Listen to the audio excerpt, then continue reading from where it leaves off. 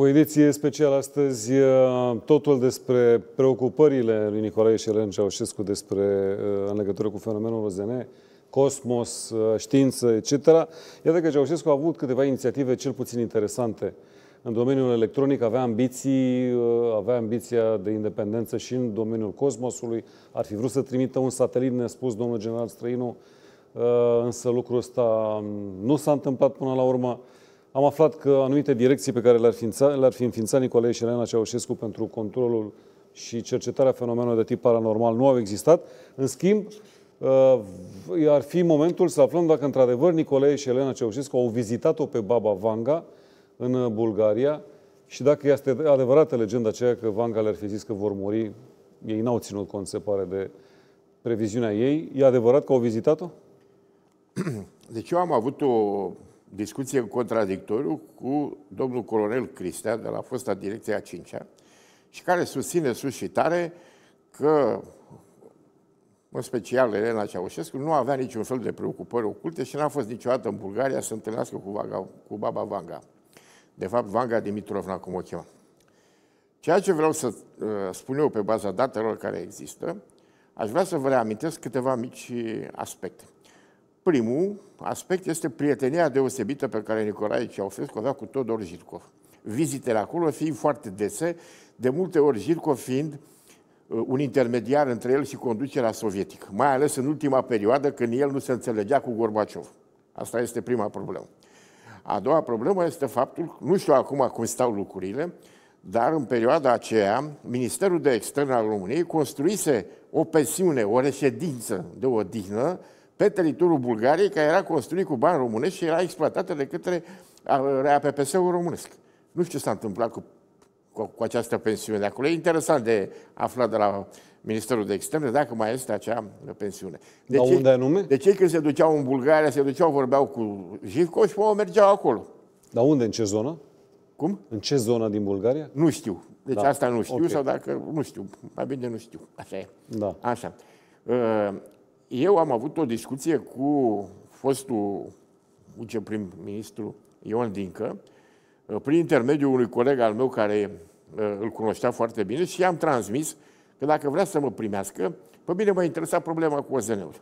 Și Dincă mi-a transmis la vremea respectivă următoarele.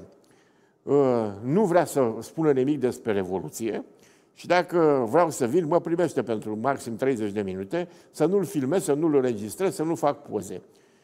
Și să-i spun despre ce. Și eu i-am spus că despre cercetările în domeniul spațiului. Când am ajuns acolo și m-am prezentat și am spus cine sunt, uh, Ion Dinc a fost general în armată. În vechiul minister al Forțelor Armate, cu Ilie Ceaușescu, care era șeful Direcției Superioare Poliției Armatei, cu Emil Bornăraș, care era ministru al Apărării Naționale pe vremea. Deci era această garnitură. E, în perioada aia, el uh, s-a cunoscut cu tata, că erau în armată. Tata venea cu tehnică nouă și erau expoziții și le-a explicat că ăștia erau de unde veneau ei. Și a adus aminte și de mine, că eram și eu pe acolo. Și la acea discuție care trebuia să aibă 30 de minute, am stat că vreo 4 ore. Și mi-a zis, mai vii și discutăm. Două lucruri sunt interesante care mi le-a spus. Primul, că Ceaușescu primea informații în domeniul aerospațial foarte bune și numai pentru el de la francezi, deci rețineți, era un canal de legătură special care și avea un canal de legătură, el, nu altcineva, care era ocolit și de ambasada americană, venea prin curier, de la NASA. Deci el primea de la americani un buletin săptămânal de la NASA. Iar alte lucruri veneau de la francezi, pentru că știți că francezii erau în NATO, dar ei făceau o politică separată, cum făceam noi intratul. Erau mulți socialiști da, acolo, nu? De la Varșovia. Și am întrebat, zic, da, OZN-urile astea, ca să mă interesează, fiecare cu boala lui. Și zice, mi-a zis ceva de genul următor. Zice, Emil, zice, într-o dimineață m-a chemat la el în birou. Zice, era singur. Și m-am gândit că trebuie să fie ceva important. Deci era foarte gânditor. Și mi-am zis uh, ceva de genul, măi Ioane, tu ce părere ai cu OZN-urile astea care tot spune că în America, că iată, vine extraterestri, că nu știu ce. Și să zic, din că mi-a zis că a stat puțin și s-a gândit ce să-i spună, ceva ca să nu-l supere. Și atunci a venit o idee lui Dincă și Dincă a zis, doar și comandant suprem sau doar și președinte, nu știu cum mi-a fi spus acolo, uh, totul este legat de războiul stelelor. Este chestia asta americană cu inițiativa de apărare strategică și ei probabil își maschează toate lucrurile astea care le duc în cosmos, sateliți, nu știu ce. Și Ceaușescu a venit și l-a bătut pe umăr și a zis, bravo băioane, la asta m-am gândit și eu. Deci ce denotă acest lucru? Că îl preocupau problemele spațiului cosmic și amintiți-vă cuvântările lui cum era ceva și problema războiul stelelor, inițiativă. Deci îl preocupa chestia asta. Deci îl, îl preocupa foarte mult. Deci practic el spunea că toate fenomenele de tip OZN sunt de fapt proiecte ale armatei americane, uh, tehnologii noi și așa mai departe. Mai degrabă Însă, credeam povestea asta. Uh, Ioan Dincă mi-a spus următorul lucru, că am devăgat discuția, am discutat multe lucruri cu el, poate voi avea ocazia într-o emisiune să le spun. Și mi-a zis, subiectul interesa. Era foarte, foarte interesant. Și ceea ce a fost, uh, uh, l-a făcut să-i crească și mai mult apetitul, este vorba de un incident care s-a întâmplat în 1970, și ăsta pot să-l spun repede, și de care a fost informat și el pe două căi pe o cale de cei de la Centrul de Informații Externe, deci de securitate, și pe altă parte de Direcția de Informații Armate. Ce se întâmplă? Uh, Nixon era nebunit că militarii americani mureau pe capete om, uh, omorâți de AKM-uri. Deci, care era arma invincibilă acolo, față de mitraliera M16, care intra prafunea, se bloca, murea cu pușca în mână, cu cartușe, că nu putea să tragă. Și au trimis forțe speciale care să captureze arme de la uh, vietnamezi și pe care să le folosească militari americani. Din câte am înțeles, nu știu dacă a fost real, se pare că am exportat și noi niște cartușe și niște arme până America pe acolo. Adică pe ascuns așa. Nu știu. Așa, așa, așa am mai stat un pic, da. da. Uh, dar problema este în felul următor. O unitate de asta specială care acționa în delta Mekongului, adică în Vietnamul de Sud, uh, acționa pentru anihilarea unor puncte de rezistență foarte puternice ale comuniștilor sud-vietnamezi. Și, uh, dar comuniștii sud-vietnamezi nu cedau, adică au mers să moară până la ultimul, uh, dar nu cedau poziția, adică au murit acolo. E, și în final, comandantul acestei unități și cu doi locțitori al lui răniți, rămân fără muniție și în fața lor apar trei vietnamezi care erau pregătiți să îi împuște. Dar vietnamezii nu vreau să îi împuște. Le făcea semn să aruncă armele, că aveau nevoie să ia prizonieri. Și bineînțeles că ăștia nu înțelegeau. Deci asta este în, urmă, în urma analizei ulterioare care s-a făcut. E, în situația asta disperată, în spatele acestor vietnamezi a apărut o entitate, o ceva, care a scos un fel de lanternă și cu o rază i-a omorât pe ăștia pe toți. A venit la americani, le-a luat armele, s-a uitat la ele, le-a aruncat și a plecat. Și ăștia au rămas acolo de a recupera cu elicopter. Că nu mai avea cine să, cum să spun, pe ei, uh, americanii nu mai au niciunul viu decât ei, iar vietnamezii erau toți morți. Și au venit elicopterele să vadă dacă mai au ce mai să recupereze, că zona era eliberată. Și au povestit acest lucru. Și chestia a rămas celebră, ca uh, extraterestru uh, care a trecut de partea americanilor în delta Mekongului. Și ea, i s-a povestit chestia asta. Și uh, l-a impresionat foarte mult. Și se pare că l-a întrebat pe, pe Dincă, bă, tu crezi că poate să fie Adevărat treaba asta. Uh, în altă parte și uh, așa ceva? Și Dincă, iarăși precaut, i-a spus, uh, păi materialismul dialectic și istoric ne învață că materia are o infinitele forme de manifestare, tu secretar general. Deci e posibil să mai fie niște, niște oameni pe undeva, că doar nu, nu ar fi îngerii. Adică era moda acolo. Și iarăși l-am mulțumit foarte tare pe Ceaușescu chestia asta, că, domne, și extraterestrii sunt acolo, dar nu sunt îngeri, adică era da. treabă cu îngeri. E, acest lucru l-a impresionat foarte mult și uh, orice informație care ea, deci o devora efectiv, dar nu de față cu ceilalți. Deci avea el... Bun, și acum să spunem de acel birou special care exista. Deci la... Să nu uităm de Vanga. Da, la Comitetul Central exista la secția militară a ASC-ului un singur birou care era încadrat cu patru militari, patru colonei, dintre care ceea ce este interesant este că unul fusese popă. Înțelegi? Acest birou... Din popă a devenit, din preot a devenit uh, colonel? Nu cunosc altă. Eu spun ce, ce mi-a spus acest Dar se spune că acest destui, care destui colonei care sau ofițeri care sunt Și avea, și acest birou avea propriul birou de documente secrete, care nu avea absolut nimeni acces. Și de ce, uh, cum să spun, de activitățile acestui birou nu avea acces nici Elena Ceaușescu. Deci nu dădeau raport decât lui Nicolae Ceaușescu. Și am zis, bine, dar cu ce se ocupau? Și mi-a dat câteva exemple.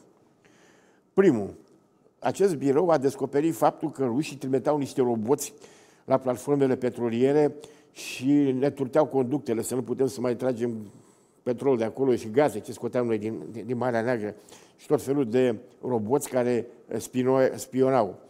Uh, rușii amplasaseră în uh, insula Leuce, în, în insula Șerpilor, instalații de radioascultare care ei spuneau că îi ascultă pe turci, dar nu îi ascultau pe turci, că nu aveau probleme pe turci, îi ascultau de lângă ei de acolo, ascultau toate mișcările navromului, adică vaselor noastre, pentru că ce vreau să afle? Noi mai exportam cartofi și tractoare, dar mai exportam și niște agheuri, și niște taburi, și niște și ei. Noi, da, să spune că românii se duceau undeva, prima dată apucau să vândă ceva. Că pe urmă venea oia la prăză dumping și, și ne scotea după piață. Deci asta este al doilea, al doilea aspect. Al treilea aspect, avea uh, un grup special care tot aici raporta, uh, un lucru care interesa pe el foarte tare, și anume problema uh, focarului vulcanic din Vrancea de, de cutremur. Pentru că el era îngrozit la ideea că va mai fi un cutremur. Și atunci el a pus să, să consolideze reședința de la Znagov, să o betoneze, să o facă antiseismică, uh, deci să o, să o pregătească uh, foarte bine. Și o altă problemă, că nu se știe dacă mai ajungem până acolo, că a pus-o și un telespectator, era alta.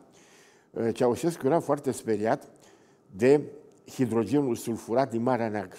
I s-a raportat că doar secretar general, știți că în următorii 30-40 de ani nu va mai fi nicio ființă vie, nici delfin, nici pești, nici crocodil, nici nimic în Marea Neagră și vor, vor, și vor fi o mare moartă, plus că va fi foarte periculoasă. Și el pusese un grup de uh, savanți de-ai noștri, fără știrea tovarășului academician, doctor inginer, care era mare petrolistă și chimistă și um, macromolecule și nu știu ce, care trebuiau să se gândească ce să facă să conserve uh, Marea Neagră și totodată să gândească cum ar putea exploata hidrogenul la sulfurat. Că aflase el de la american că la poate fi folosit, chiar și ca combustibil.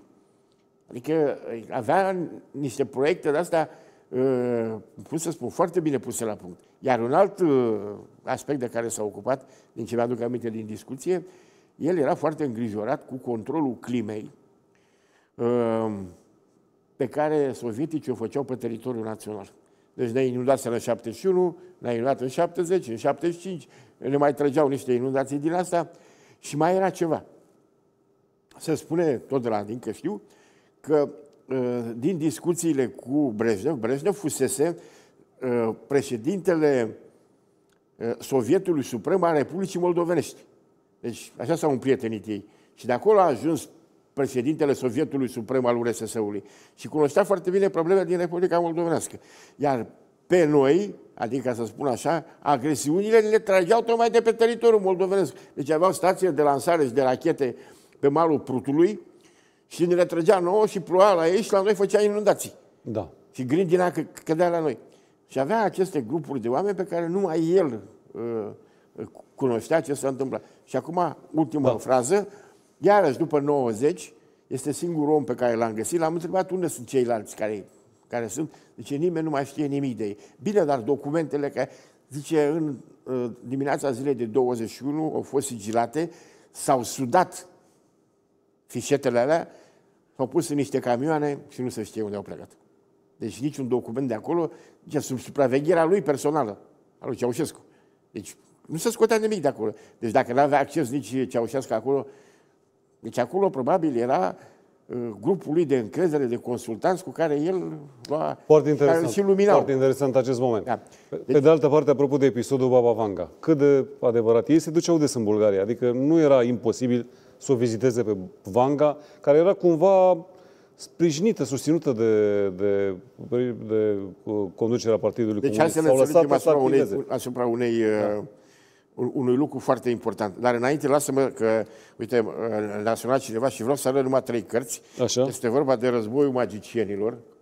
Stai așa ca să se vadă. Așa. Așa. Istoria secretă a războiului radioelectronic de la apariție până la Revoluția din decembrie 1989, inclusiv istoria radarului, inclusiv în România. O a doua carte este Radarul vânează OZN-uri cu cazuri reale din România documentate de la Comandamentul Aviației Militare și de la fostul comandament al apărării antiaeriene. Și cartea mea de suflet, am vânat OZN-uri și extraterestri, o vedeți cam cât de groasă e, unde sunt, nu că am scris-o eu, deci sunt numai documente oficiale cu nume, cu grade, cu locații, cu tehnologie militară. Deci o, o carte document. Am scris-o să rămână acolo și pentru că lucrurile se uită, dispar, noi dispărăm și... Uh, E bine ca poveștile astea să fie structurate. Așa. Deci în legătură, în legătură cu Vanga, trebuie să le înțelegem asupra unui singur lucru.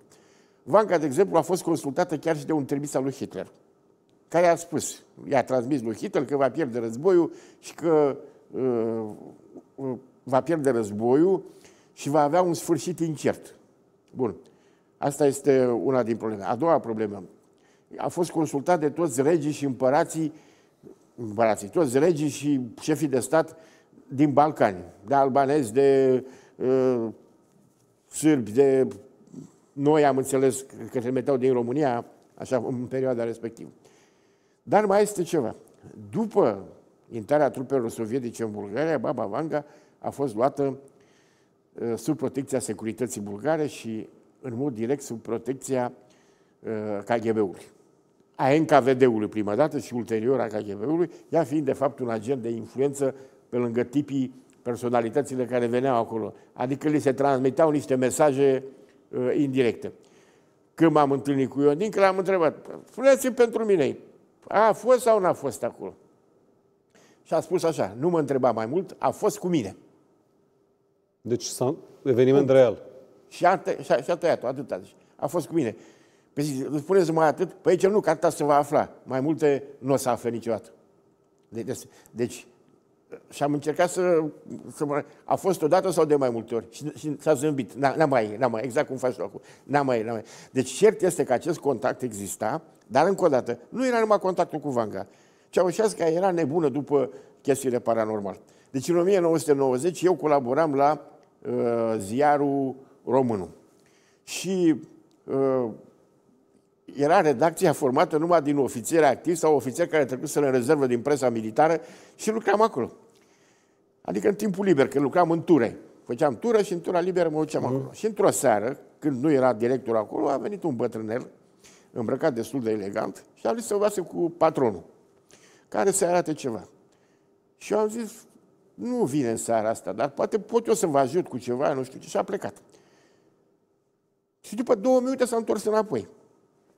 Și ce aș vrea să vă arăt ceva, zice, sunt într-o problemă foarte strâmtorată și am problema asta. Și scoate două, două cărți, să zicem. Deci o carte era uh, Roglan de enciclopedii, Marea Enciclopedie a Ocultismului și Ezoterismului, în limba franceză, o carte mare, formată a patru, cam la 400 de pagini, 350-400 de pagini, foarte ilustrată, unde era chiromanție, ghicitul în cafea, tot, tot ce intră la, la, la chestiile astea, tarot și așa mai departe. Și o, un dosar foarte frumos legat, legat, adică legat cum lege o diplomă, un, un proiect de diplomă, unde ce era? Era toată traducerea în limba română din carte, adică pagina 3. Cine citea, deschidea pagina acolo, să uita și spunea, poza din stânga sus, spune asta. Acolo jos scrie nu știu ce. Și eu am zis, ce vrei să faci cu ele? Ce vreți să faceți cu ele? Și ce nu te-ai prins. Și zic, nu.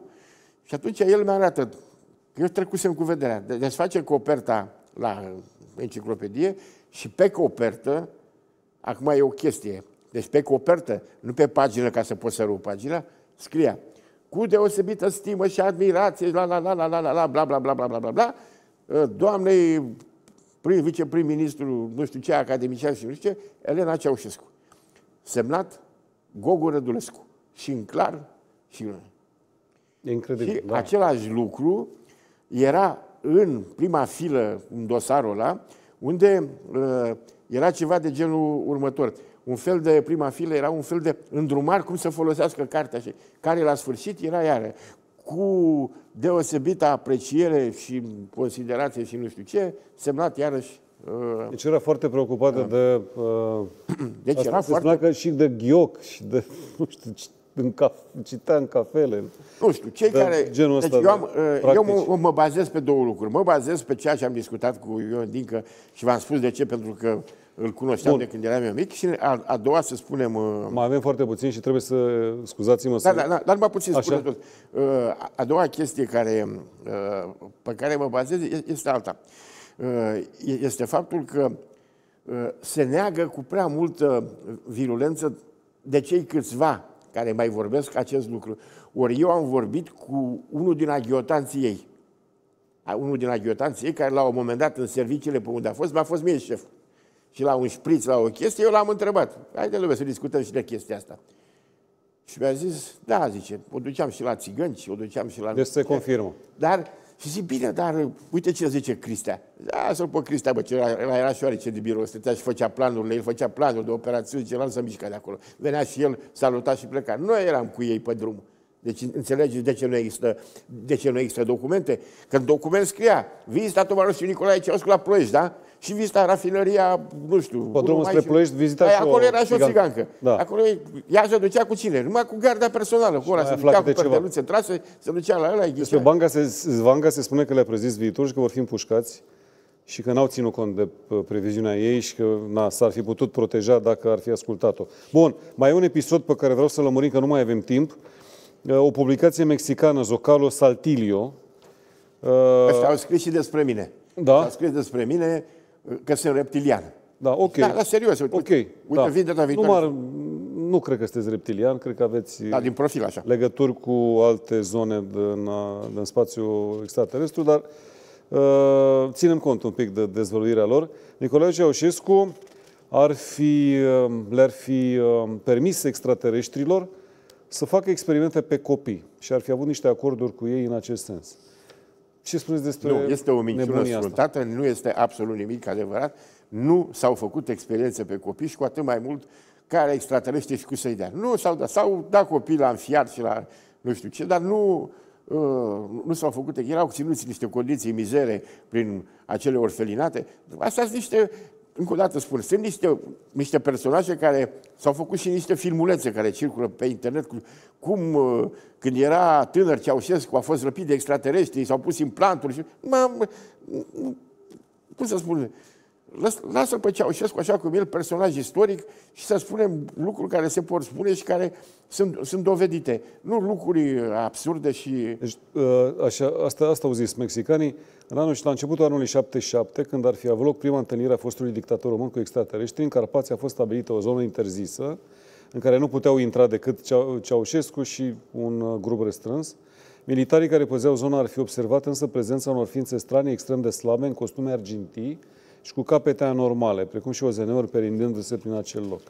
Și că unii dintre militarii care au participat la astfel de întâlniri ar fi ajuns în Statele Unite și ar fi furnizat aceste informații Nu, nu, deci unor surse de inteligență. Uh, excludeți această poveste. exclud total. Vreau să spun câteva lucruri.